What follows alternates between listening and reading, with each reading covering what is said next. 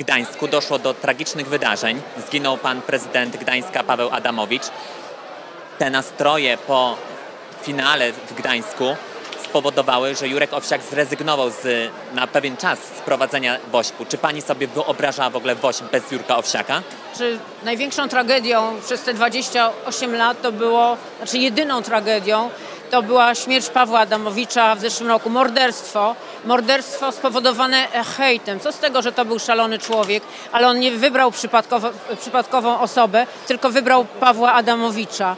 E, Paweł Adamowicz był szalenie dobrym człowiekiem i wspierał zawsze orkiestrę. Kiedy to się wydarzyło, to wszyscy płakaliśmy. To tak jakby ktoś nam wbił nóż w serce, tak jakby ktoś wbił nóż w serce Świątecznej Orkiestry Pomocy. Jurek wtedy powiedział, że rezygnuje, ale wszyscy trzymali za niego kciuki. Prosiliśmy go, że bez niego nie będzie tego jednego dnia i jeden dzień dłużej.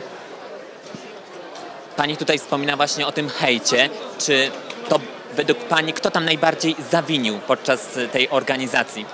Wie pan, e, kto zawinił, tego nie wiem. Ja nie jestem e, ze służb, które by oceniały.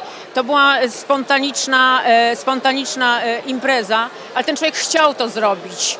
Być może, gdyby nawet była jakaś bardzo profesjonalna ochrona, on by to zrobił. On powiedział swojej matce, że chce zrobić coś spektakularnego. Matka uprzedzała służby. Moim zdaniem system zawinił, system pre prewencyjny y, y, zawinił i ci, którzy wypuścili tego człowieka, y, nie patrząc, co się będzie działo dalej. I zawinili ci, którzy wy, wy, wylewali kubły hejtu na Pawła Adamowicza.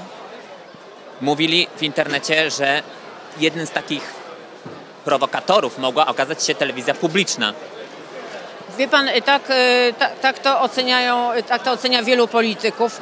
Żona Pawła Adamowicza powiedziała, to był mord polityczny i na tym poprzestanę.